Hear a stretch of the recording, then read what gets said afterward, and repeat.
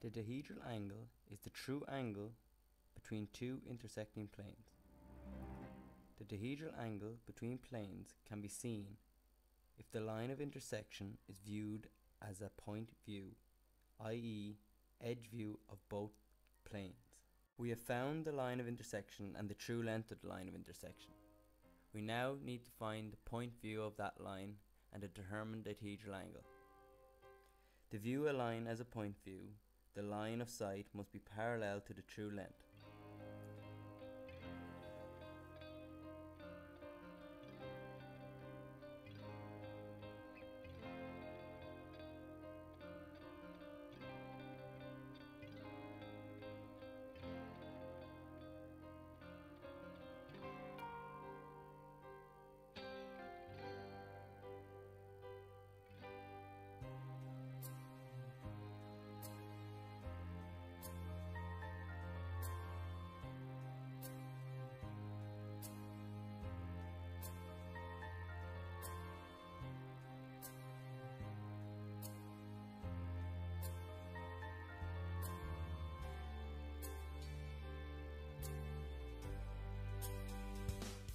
X2, y2 line represents a projection plane perpendicular to the true length for the second auxiliary view.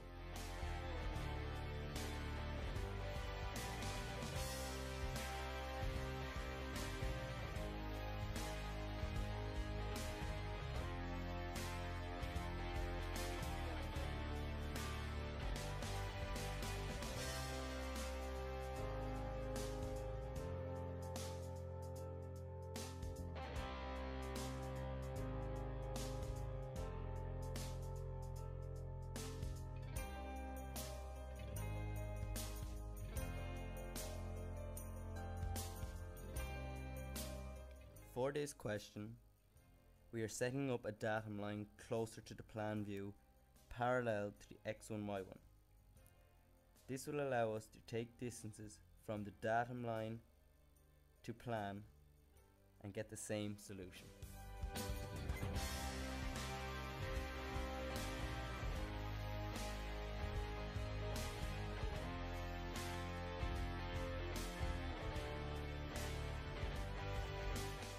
We are projecting a second auxiliary view, therefore our distances for our second auxiliary come from our previous projection plane x1, y1 back to the previous view, or in this case our datum line to the previous view, i.e. the plan. These distances are transferred to our second auxiliary view.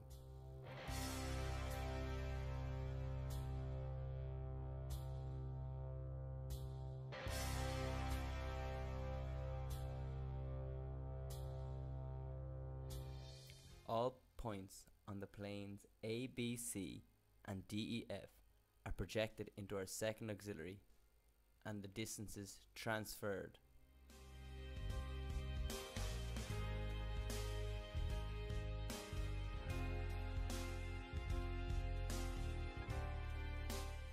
Once the points are transferred, we will see the planes as an edge view.